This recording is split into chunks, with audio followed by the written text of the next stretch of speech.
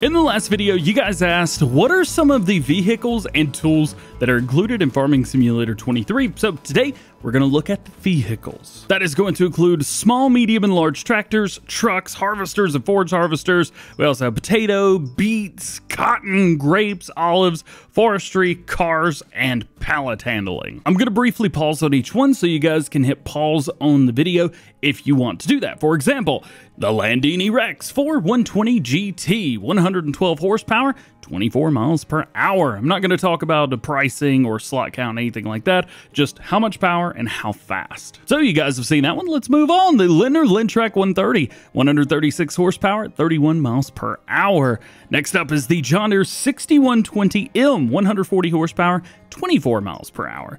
Next up, the Fendt 314 Vario, 142 horsepower, 24 miles per hour. The Massey Ferguson MF5S 145, 145 horsepower, as you probably would guess, 24 mile per hour max speed.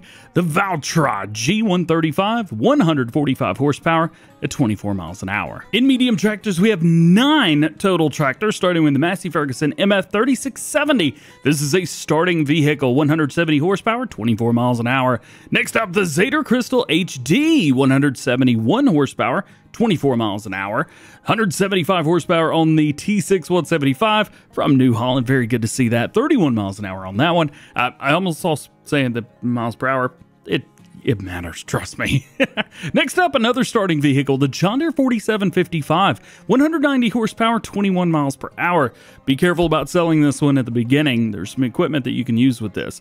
Next up, the Landini 7230 Robo 6. I love this tractor. 225 horsepower, 31 miles an hour. Next up, the JCB Fastrac, 235 horsepower at 37 miles per hour. Very, very affordable and important tractor there. Next up, the Fendt 724 Vario, 246 horsepower, 31 miles an hour.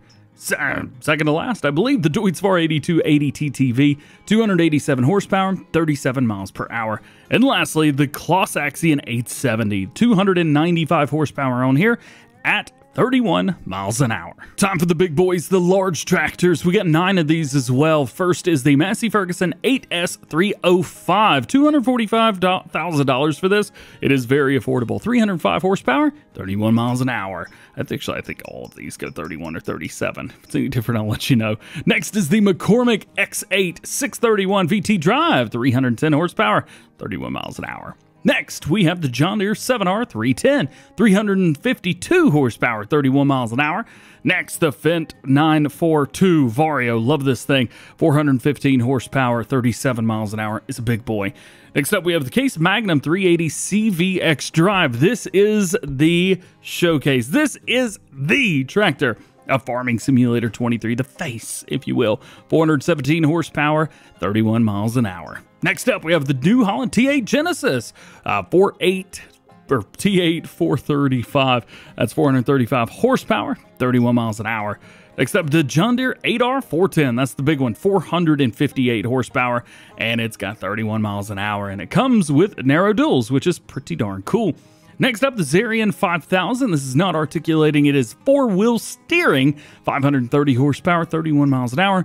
And lastly, the versatile four-wheel drive 620, 665 horsepower, 21 miles per hour. It weighs 19 tons, and it is um, actually not that bad. It's not the most expensive tractor by far. As for trucks, we only have two of them. The first is the Max Superliner 6x4, 500 horsepower, 49 miles per hour, and then we have the Mack Anthem 6x4, 505 horsepower at 49 miles per hour. So pretty identical when it comes to both of these.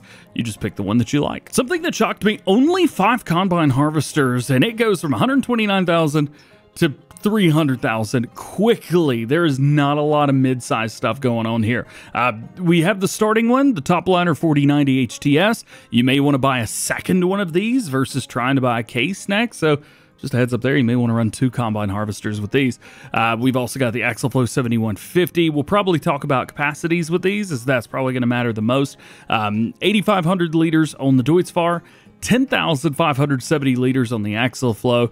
Only Claas Trion 750. This will hold 12,000 liters.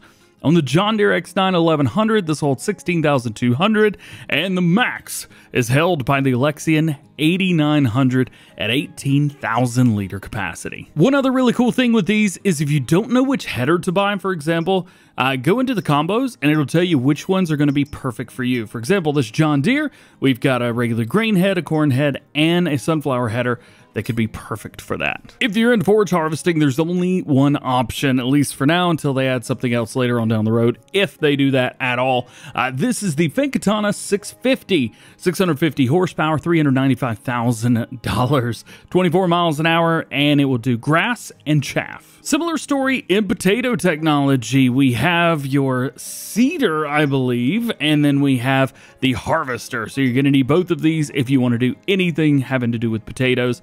Uh, the Grimme GL420, this is going to be your planter, three meters at seven miles an hour. It'll do potatoes or seeds. So if you have potatoes laying around, you can put them in here and use them instead of seeds.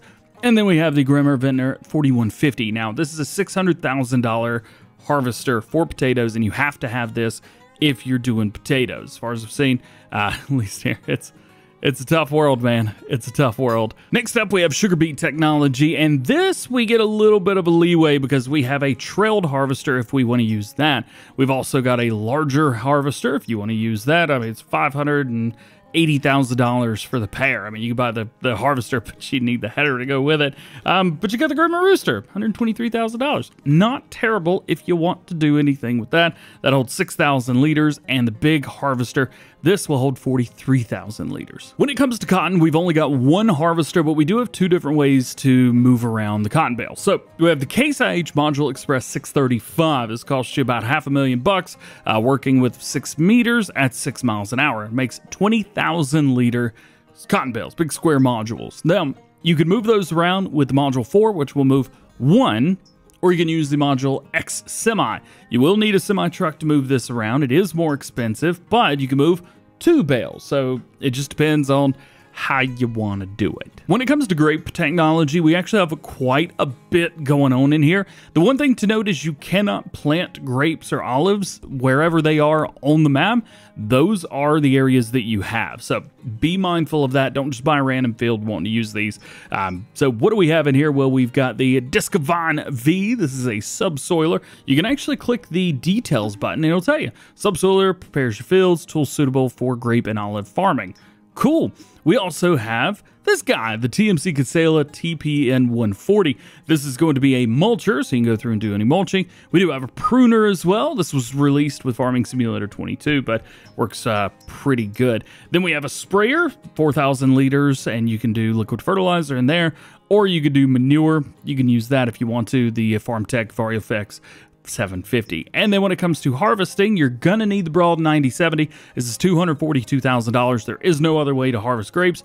You need this. And then if you want to transport them, you're to use this as well, uh, the Furman LWS 12000. That is going to be how you move them from point A to point B. Now that being said, if we jump over to Olive Technology, we basically have the same setup of equipment here. However, we do have a different harvester, the New Holland Braud 9090X olive. So make sure that you use this. They are not interchangeable with grapes and olives. Something that has returned to Farming Simulator is logging. We have the Ponsse Cobra, the Rana FD20D, and the Prentice. So we've got something for cutting down trees. We've got something for moving trees from point A to point B, and we've got something to grind the stumps down, which is pretty darn cool.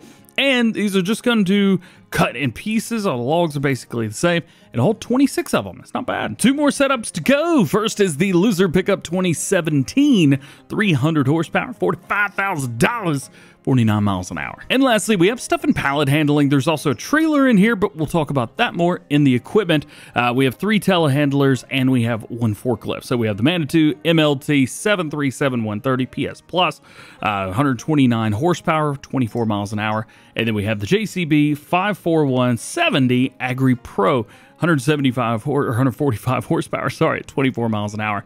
Man, my brain hurts from looking at all these numbers. And lastly, we have the Jungheinrich EFG S50. This is going to be your one uh, pallet uh, moving thing. What did I call this? Pallet fork? Forklift. God, I'm an idiot. So there you go. That is all of the equipment as far as vehicles go in Farming Simulator 23. If you want to see anything else, let me know. Otherwise, next video is gonna be equipment.